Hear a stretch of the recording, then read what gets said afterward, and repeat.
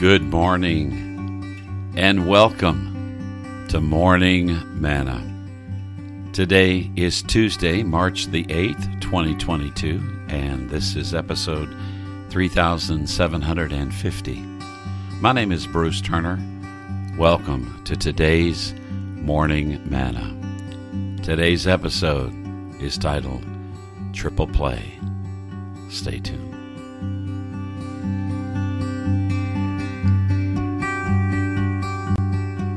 So, do you know what a triple play is? I had a blessed time pastoring in uh, Winter Haven, Florida for 11 years, and it was always great when spring training came along for baseball. A triple play is a rare act of making three outs during the same continuous play. Now, triple plays happen infrequently. There have been 727 triple plays in Major League Baseball since 1876, an average of maybe like five per season. But they depend on a combination of two elements. One is that there's got to be two base runners and no outs.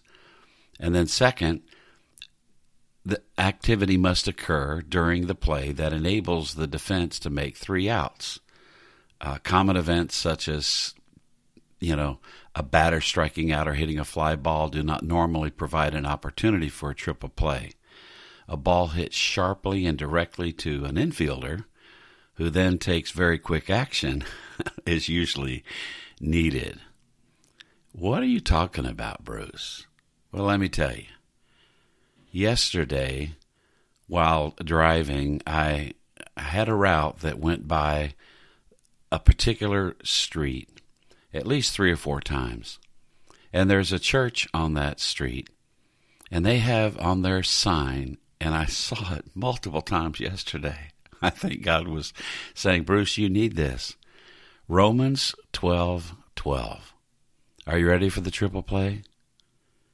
Be joyful in hope patient in affliction, faithful in prayer. Paul says, rejoice in hope.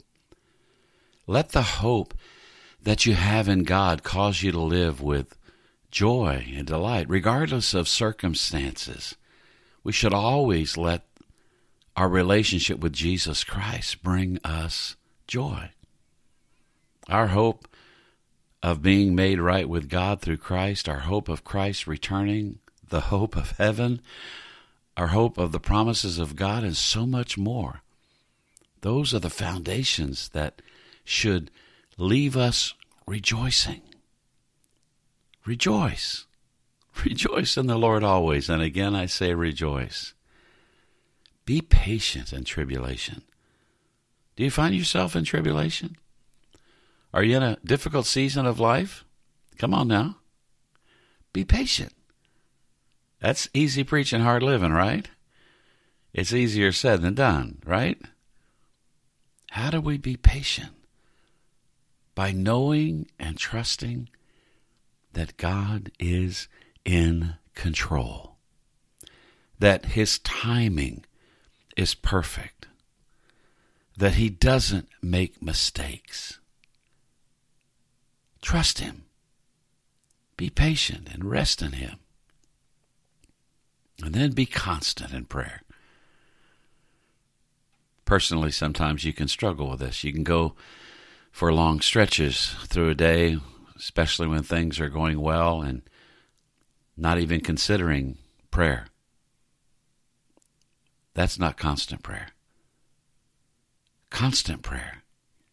We have the ability to communicate with the God of the universe, and yet we fail to use that privilege. God wants to hear your heart. He wants to spend time with us. He wants to empower us throughout the day, good times and bad times. Constant prayer, constant prayer can unlock all of those things. Be constant in prayer. Now, all of three of these things are extremely practical for all of us. Press into God today. Let Him increase your joy and hope. Ask Him for more patience in your tribulation. Allow Him to deepen your desire to communicate with Him throughout your day and experience His amazing joy. Father, thank you for this word. Thank you for giving it to me many times yesterday. And I pray today that that would be the reality for each of our lives. To be joyful in hope, patient in tribulation,